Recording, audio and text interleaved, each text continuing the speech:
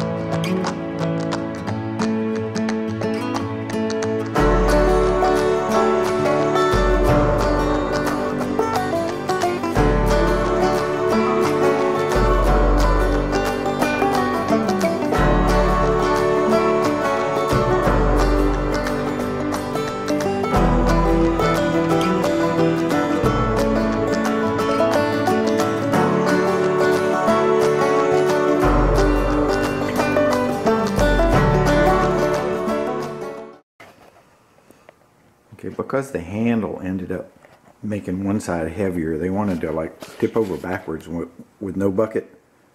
So put this little kickstand. That took care of that. And now they work pretty well. Simply setting a bucket in there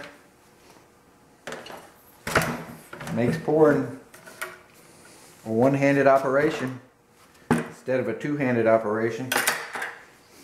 And when the bucket gets really empty, you can lock it down.